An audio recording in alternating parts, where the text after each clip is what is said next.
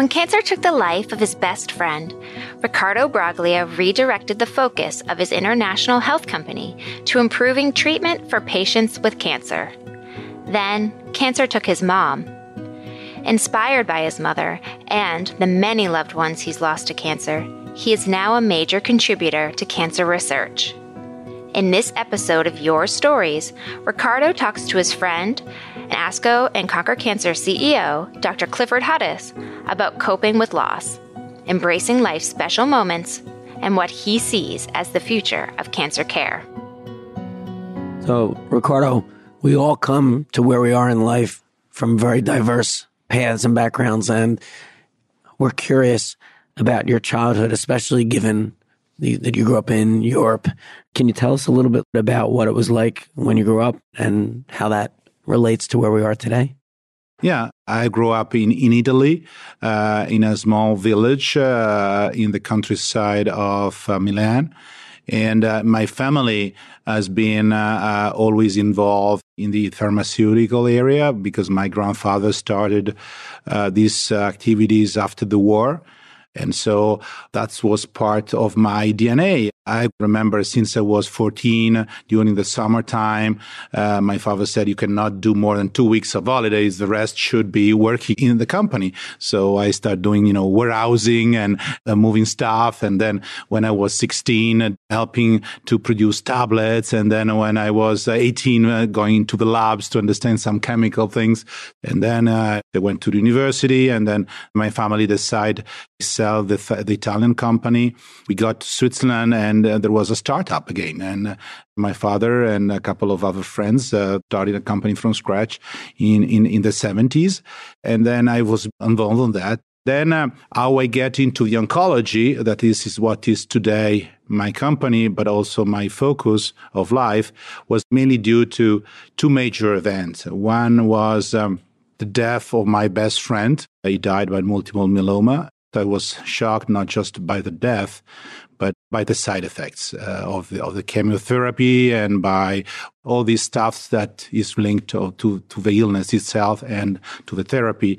So I refocused my company from anti-inflammatory and gastrointestinal and antibiotic area to oncology. And the second one has been uh, that my family, unfortunately, has a family that uh, die of, uh, of cancer.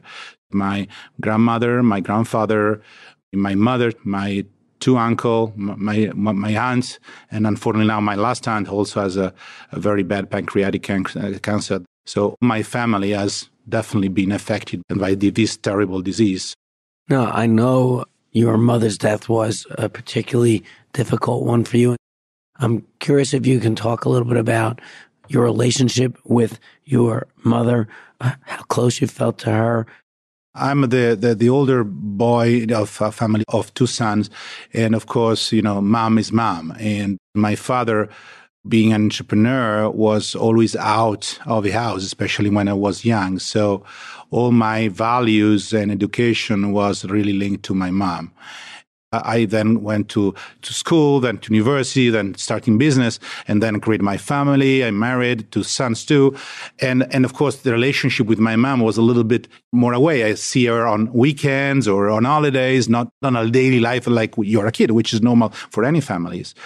Then uh, what happened, uh, unfortunately, four years ago, she got ovarian cancer and then immediately diagnostic with uh, multiple metastases uh, almost everywhere in his, her body and uh, was immediately going into palliative care. And she died uh, four months after. But in these four months, I dedicated to my mom every single day uh, in the morning, in the evening, at lunchtime. And re- we recreated this feeling that we had when I was a child. And, and this relationship really evolved back again. And uh, we have uh, some very good moment uh, in the morning when I waking her up and, and trying to get out of bed, and and also spending time in praying together and creating a, a faith again. So, in in the bad news that she passed away, the good news is that she inspired me to to to do what I'm doing every day in fighting against cancer. Every family that experiences cancer probably experiences it in some uniquely different way.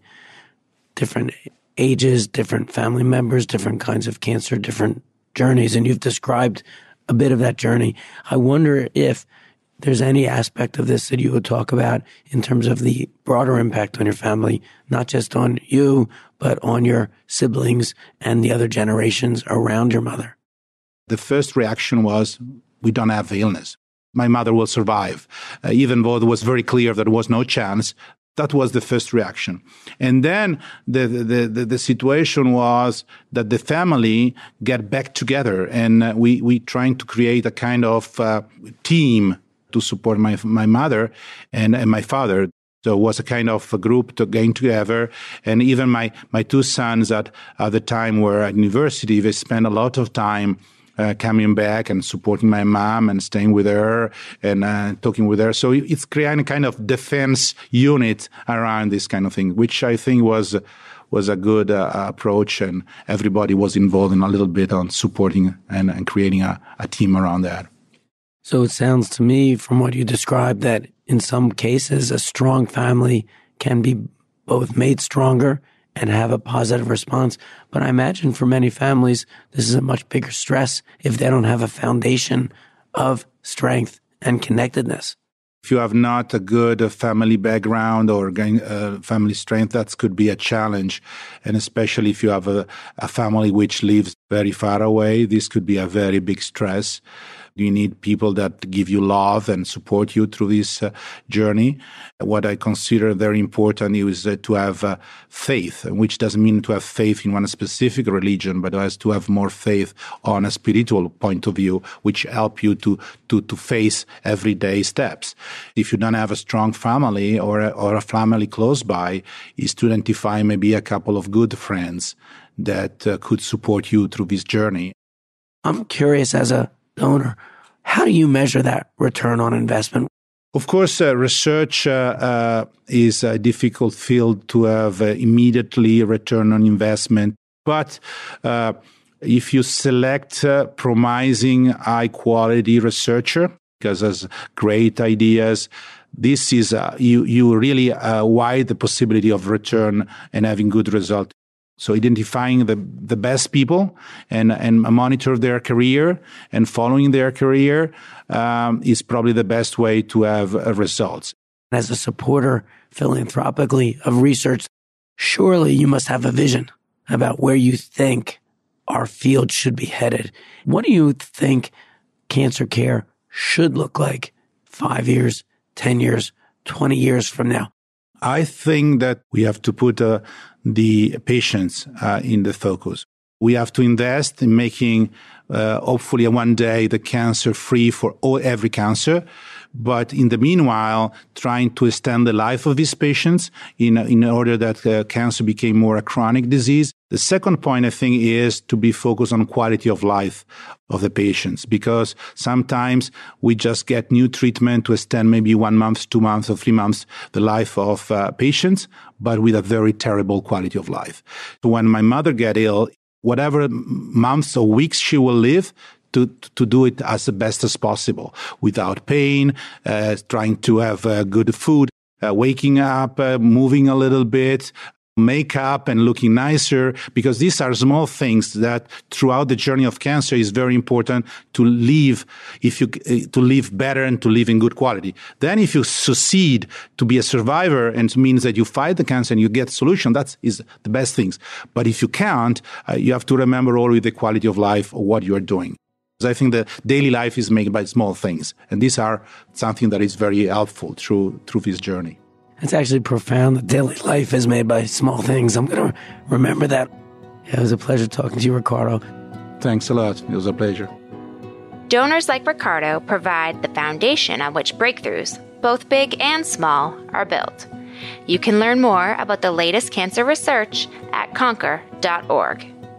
Hearing the experiences of others can help people cope with the challenges cancer brings. Help others find these inspiring stories by leaving a review of the podcast and subscribe today on iTunes or Google Play to hear every new episode.